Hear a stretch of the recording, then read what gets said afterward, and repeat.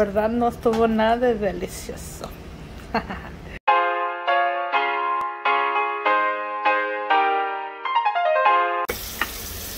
Pues miren, voy, voy a estar haciendo alitas y las alitas vienen completas, solo que ya les había quitado una punta.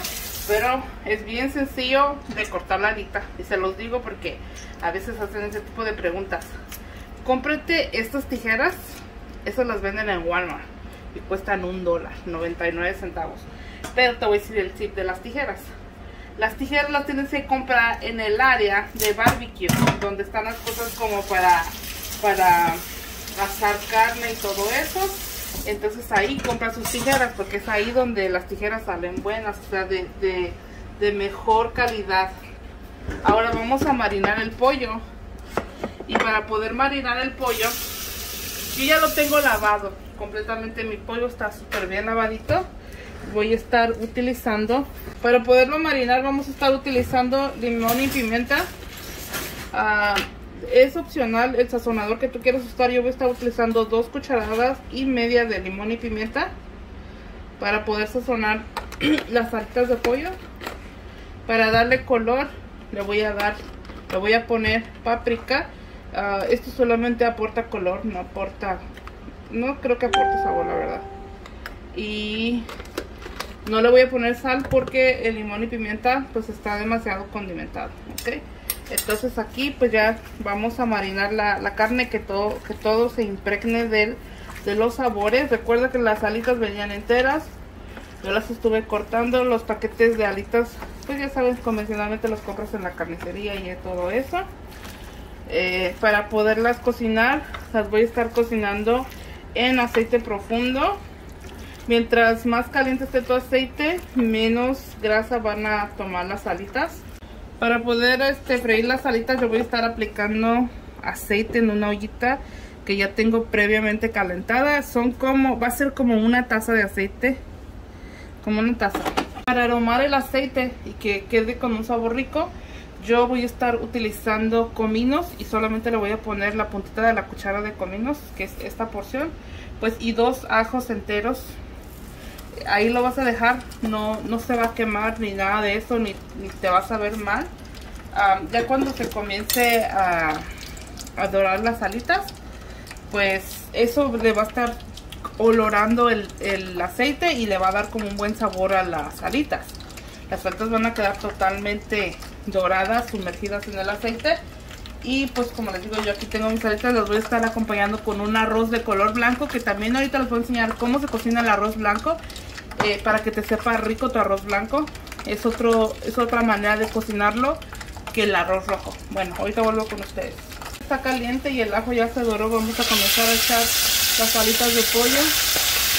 Ah, como es aceite profundo, sí va a brincar un poquito al principio, pero no pienso que porque tiene el cuerito le va a brincando y brincando, no.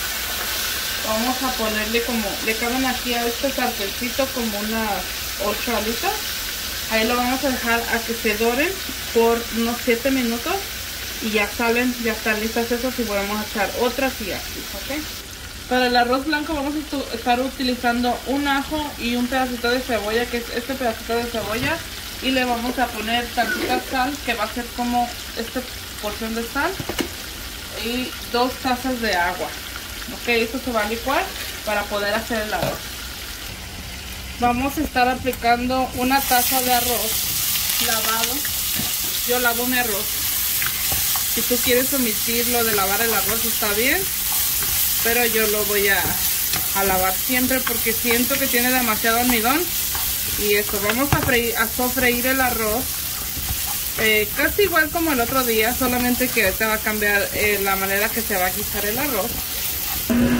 Para este tiempo, para este tiempo ya el arroz ya está otra vez, ya está graneado. O sea, cuando digo ya está graneado, que cuando tú alzas tu arroz con la cuchara, el arroz se cae de uno en uno, o así no se cae como en molote. Ahí es el momento que le vamos a estar echando el ajo molido con la sal y la cebolla.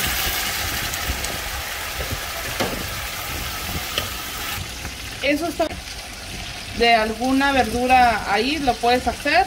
Yo no, yo lo quiero totalmente blanco y ya lo voy a tapar. y lo voy a dejar hervir aproximadamente 20 minutos, pero le voy a bajar obviamente a la, a la cocción, lo voy a bajar. Aquí ya se puede mirar que las alitas ya agarraron este color doradito bonito, pero yo siento que aún le falta, les voy a decir por qué. Porque todavía se está inflando el cuerito y cuando el cuerito todavía se infla es que todavía le falta a la alita. Mire, si usted le mete un tenedor y la y saca como, como este ruido así de que todavía está crudo por adentro, pues no es tiempo de sacarlo. Le vamos a dar otros 3 minutos más. Ya este es el momento preciso que voy a sacar las alitas y ya las alitas pues ya están súper doraditas. Como se pueden dar cuenta ya se salió el huesito de aquí. Eso también es un tip que les doy. Cuando ya sus alitas estén, el huesito revienta la carne el huesito, miren. Entonces se pueden dar cuenta, ya reventó, pues entonces ya las alitas ya están. Y aquí mismo en este aceite pues siguen poniendo el resto de las alitas. Lo estoy cocinando a fuego medio alto. Si ustedes quieren las alitas más, más healthy, como sin tanta grasa, así mismo las pueden poner en una charolita y meterlas al oven a 375 grados por 15 minutos y les van a quedar salitas súper bonitas. Ya vamos a apagar el arroz y el arroz ya quedó craneadito y ya quedó bien, ¿ok? Ahorita para servirlo les enseño cómo se ve. Pues ya vamos a terminar de servir el plato y así es como queda mi arroz. El arroz blanco queda igual que el arroz rojo, queda graneadito cuando tú lo, sirves, no, no está pegajoso ni nada de eso. Yo estoy acompañando las alitas con arroz, una porción de ensalada y cuatro alitas. Es un plato bien servido. Igualmente este plato, este platillo lo podrías vender y salir de algún apuro.